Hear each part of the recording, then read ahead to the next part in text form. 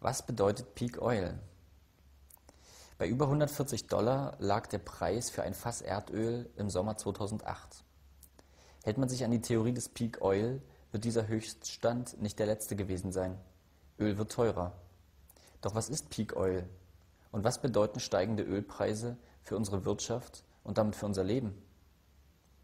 Erdöl ist ein endlicher Stoff. Irgendwann ist der kostbare Rohstoff aufgebraucht. Das weiß man nicht erst seit Erscheinen des Buchs Die Grenzen des Wachstums von Dennis Meadows in den 1970ern. Naiverweise gehen die meisten Menschen davon aus, wir verbrauchen Öl über eine gewisse Zeit und dann ist eben Schluss. Ende. Doch die Realität ist komplexer. Erdöl wird in vielen Regionen des Planeten gefördert und in vielen Ecken des Planeten verbraucht. Die Fördermenge jedes Landes ist unterschiedlich hoch, weil auch die Fördermenge jedes einzelnen Ölfeldes unterschiedlich hoch ist. Aus manchen Ölfeldern lässt sich Öl mit hoher Geschwindigkeit fördern, aus manchen fließt es eher als Rinnsal. Der Grund, warum wir uns viel eher als erst mit dem letzten geförderten Öltropfen mit der Problematik auseinandersetzen müssen, liegt darin, dass Ölfelder umso zäher ihren Rohstoff hergeben, je mehr Öl bereits aus ihnen gefördert wurde. Anfangs sprudeln manche Quellen geradezu. Je länger der Förderprozess aber andauert, umso schwieriger wird es, die Fördergeschwindigkeit beizubehalten. Jedes Ölfeld hat deshalb einen Förderhöhepunkt, einen Peak. Nach diesem Höhepunkt sinkt die Geschwindigkeit, mit der sich das Öl fördern lässt. Je mehr der Ölreserven abgepumpt sind, umso langsamer wird der fortschreitende Förderprozess. Was für ein Ölfeld gilt, gilt für die Summe aller Ölfelder des Planeten.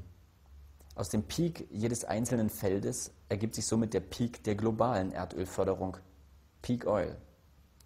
Peak Oil ist also der Moment, an dem sich die globale Fördergeschwindigkeit von Erdöl nicht mehr steigern lässt. Doch welche Konsequenzen hat das? Die Grafik zeigt bis zum Jahr 2004 reale Daten. Ab 2004 setzt das Szenario der ASPO ein, der Organisation zur Erforschung von Peak Oil. Die ASPO hat Peak Oil also irgendwo zwischen 2004 und 2010 datiert. Andere sehen den globalen Förderhöhepunkt zwischen 2020 und 2030. Doch der genaue Zeitpunkt ist eher zweitrangig. Wichtig ist es, die Auswirkungen dieser Situation zu verstehen. Die globale Ölfördermenge wird nahezu sofort verbraucht. Zwar gibt es umfangreiche Öllager, die als Reserven dienen, aber der Hunger der Welt nach Öl ist enorm. Allein Deutschland verbraucht 2,4 Millionen Barrel Öl pro Tag. Das sind 380 Millionen Liter Erdöl täglich, mehr als 4 Liter pro Kopf und Tag. Würde man diese Menge in Eisenbahncontainer zu 35.000 Litern füllen, würde ein 11.000 Waggons langer Zug entstehen, 132 Kilometer lang, was etwa der Strecke zwischen Magdeburg und Berlin entspricht.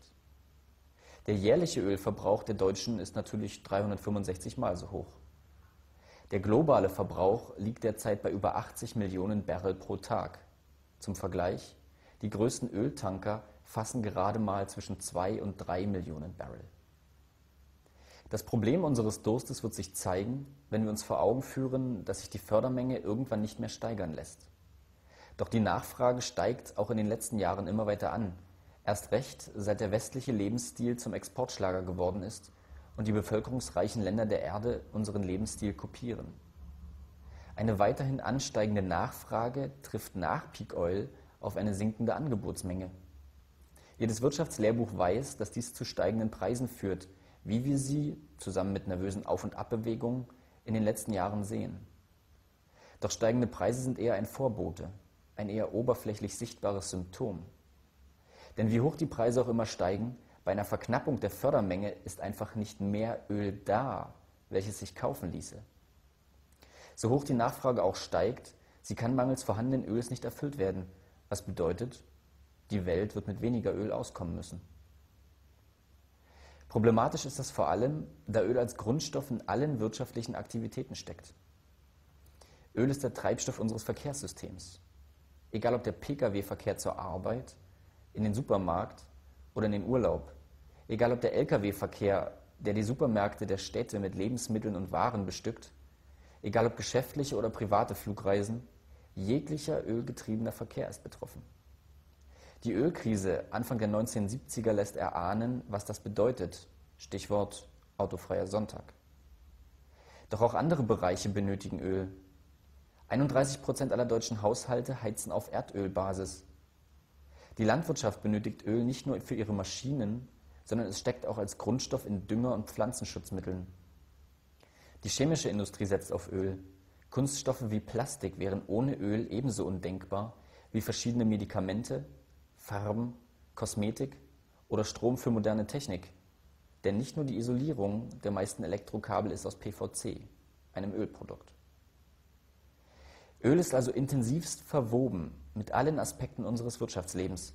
Ja, man könnte sogar sagen, ohne Öl lässt sich diese Form des Wirtschaftens, wie wir sie heute betreiben, gar nicht aufrechterhalten. Aber werden nicht ständig neue Ölfelder entdeckt? Ja. Im September 2009 war auf Spiegel Online in großer Überschrift zu lesen, Konzerne entdecken riesiges Ölfeld vor afrikanischer Küste. Zwei Milliarden Barrel. Hört sich wirklich super an. Aber wie lange reichen zwei Milliarden Barrel eigentlich bei einem globalen Tagesverbrauch von 80 Millionen Barrel? Diese naive Frage hat der Spiegel im Artikel leider nicht gestellt. 2 Milliarden Barrel geteilt durch 80 Millionen Barrel pro Tag macht 25 Tage. Es dauert wenigstens einige Monate, um aus einem gefundenen Ölfeld auch wirklich zu fördern. Und dann verlängert das hier gefeierte Ölfeld das Ölzeitalter also um gerade mal 25 Tage. Über die Geschwindigkeit, mit der Öl aus diesem Feld zu fördern sein wird und die maßgeblich dafür ist, wie schnell wir es dann auch tatsächlich verbrauchen können, über diese Fördergeschwindigkeit können wir nur Vermutungen anstellen. Der Artikel sagt dazu nichts. Betrachtet man die ölbasierte Wirtschaftsweise in einem anderen zeitlichen Blickwinkel, so wird deutlich, wie kurz diese Phase in der Menschheitsgeschichte rückblickend gewesen sein wird. Selbst wenn wir also noch einige Jahrzehnte Öl verfügbar haben, so wird sich die Petroleum-Ära im historischen Kontext als eine sehr kurze Episode darstellen. Möglicherweise eine Episode, die jedoch sehr langfristige Nachwirkungen hat, wenn wir bedenken, dass unsere Spezies innerhalb von zwei Jahrhunderten jene enormen Mengen an Kohlenstoff aus dem Erdmantel freigesetzt hat, die zuvor Jahrtausende lang darin gebunden waren.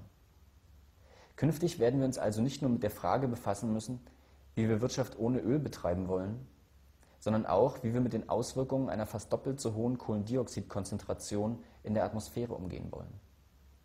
Beide Aspekte stellen enorme Herausforderungen an uns und erneut die Frage, wie wollen wir künftig wirtschaften? Auf Peak Oil folgt Peak Uran und Peak Coal. Auch Uran und Kohle halten nicht ewig. Auch diese beiden Rohstoffe sind endlich und wir können unsere Wirtschaftsweise nicht dauerhaft auf ihnen aufbauen.